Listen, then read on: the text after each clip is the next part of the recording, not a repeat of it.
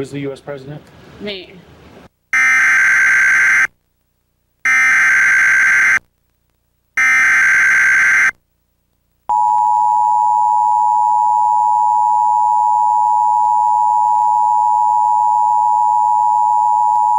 The National Weather Service in Mount Holly, New Jersey has issued a severe thunderstorm warning for Sussex County in southern Delaware, southwestern Kent County in central Delaware, Talbot County in eastern Maryland, south central Queen Anne's County in northeastern Maryland, Caroline County in eastern Maryland, until 8.30 p.m.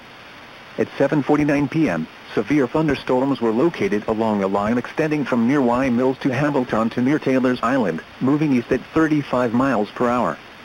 Hazard, 60 miles per hour wind gusts and quarter-size hail. Source, radar indicated.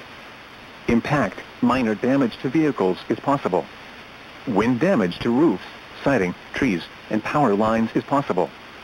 These storms will impact recovery effort across Sussex County.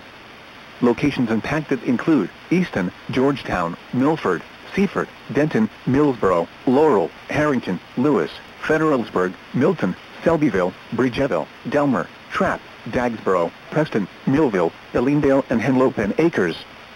For your protection move to an interior room on the lowest floor of a building. A tornado watch remains in effect until 10 p.m. for central and southern Delaware, and eastern and northeastern Maryland. Repeating, a severe thunderstorm warning has been issued until 8.30 p.m. for the following counties, in Delaware, Kent and Sussex, and the following counties, in Maryland, Caroline, Queen Anne's, and Talbot.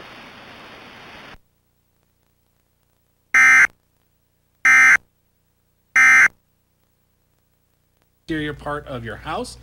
And also, as you're on your way to that interior room of your house, grabbing shoes and blankets to throw it over you.